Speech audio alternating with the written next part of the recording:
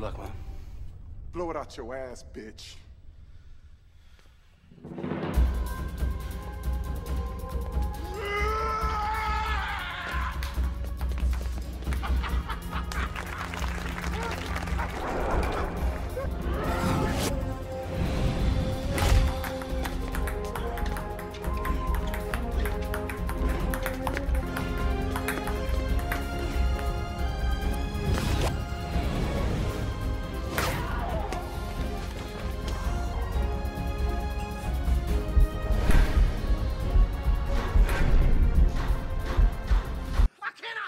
What?